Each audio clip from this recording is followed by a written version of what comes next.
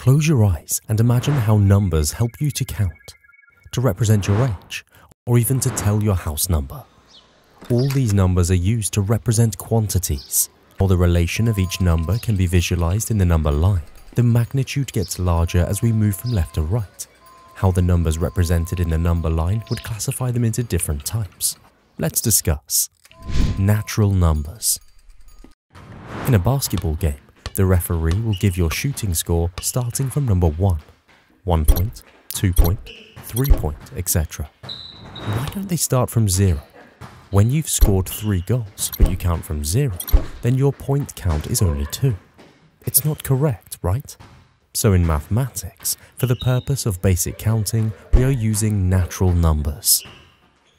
Natural numbers are a part of the number system that includes all the numbers from 1 up to infinity.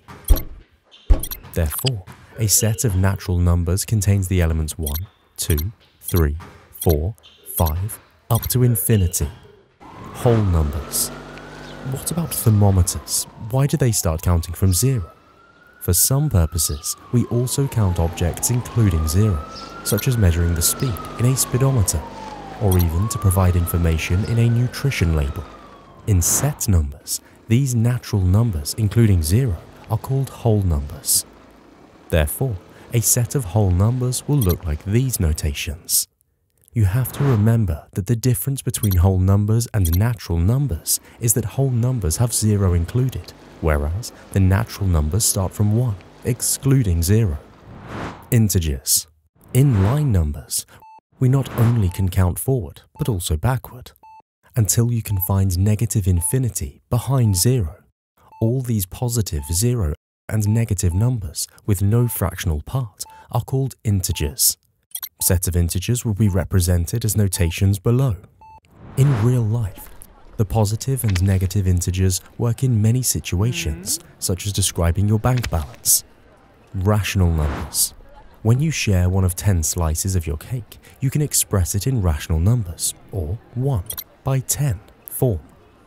Any number that can be represented as a simple fraction is a rational number.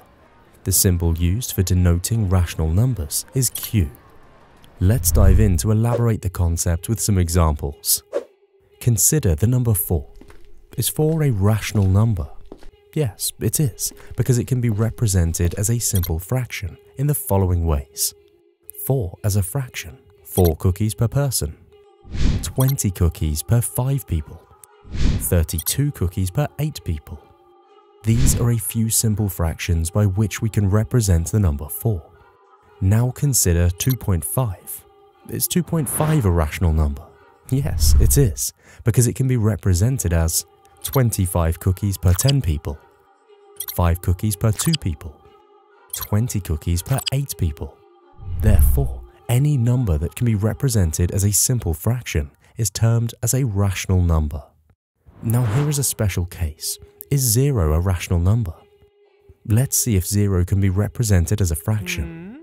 0 can be represented as 0 over 2, 0 over 3, 0 over 4, 0 over 5 all these fractions have the final answer as 0.